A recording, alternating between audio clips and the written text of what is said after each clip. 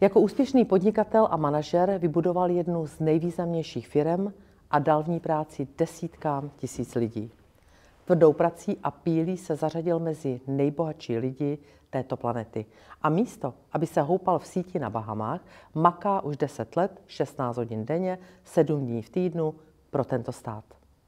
Patřím už mezi pamětníky a tak si dobře pamatuji, jak vypadalo Česko před jeho vstupem do politiky.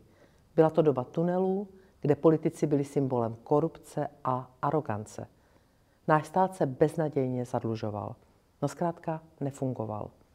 Lidé byli chudí a naděje na změnu s každými volbami stále mizivější. Ale co Andrej Babiš slíbí, to také splní. Na rozdíl od jiných mu nechybí odvaha k velkým politickým krokům a rozhodnutím. Dokázal, že ochrana slabých a starých nemusí být na úkor podpory podnikavých a úspěšných.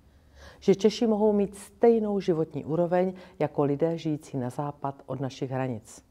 Prostě jsme se přesvědčili, že můžeme mít důstojné důchody, slušné platy, nižší daně a zároveň hospodařit s vyrovnanými rozpočty.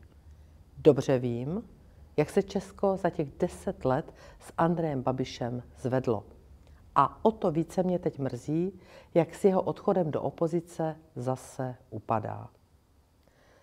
Proto vás prosím, přátelé, nedejte se zvyklat atmosférou opovržení a morální nadřazenosti jeho nepřátel. Ne nepodobnou způsobům těch skutečných a opravdových ideologických svazáků.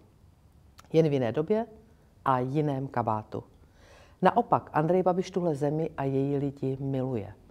Co naopak nesnáší, jsou zlodějny, klientelismus a korupce, neschopnost mocných a promarněný čas. Nepochybuji, že jako prezident dá zase věci do pohybu. Nepropásněme šanci zvolit si Andreje Babiše prezidentem. Rozhodnout může i váš hlas. Tak prosím, přijďte určitě v pátek nebo v sobotu volit. Děkuji vám.